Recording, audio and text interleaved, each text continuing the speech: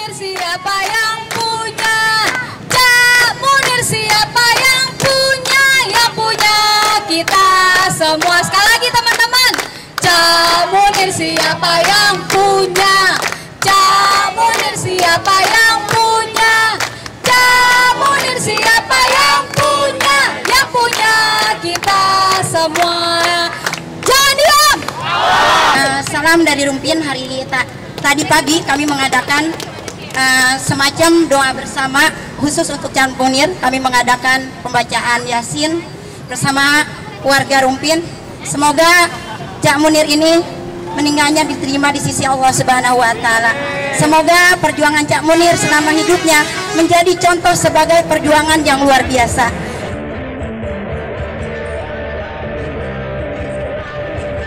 dia bukan anak yang terjajah jiwanya jiwanya dia anak merdeka merdeka dalam artian dia berani mengungkapkan kebenaran Bagi eh, saya keluarga korban yang diwariskan adalah contohnya diri saya sendiri. dia belajar dari fenomena mungkin karena dia belajar dari fenomena itulah dia menyimpulkan sesuatu yang kita se- segala sesuatu kita tidak bisa menyimpulkan dia bisa menyimpulkan dan bisa memberikan persepsi yang lain dari pengalamannya ketika dia tidak melakukan hidupnya itu untuk menolong orang. Kalau dia diem nggak nggak nggak menolong orang, dia malah sakit.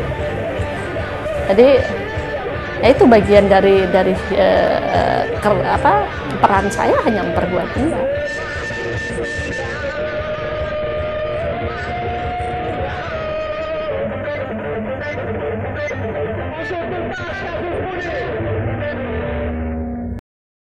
Kalau umpama saya nggak dikasih pinjaman sama beliau, mungkin saya nggak bisa menikah.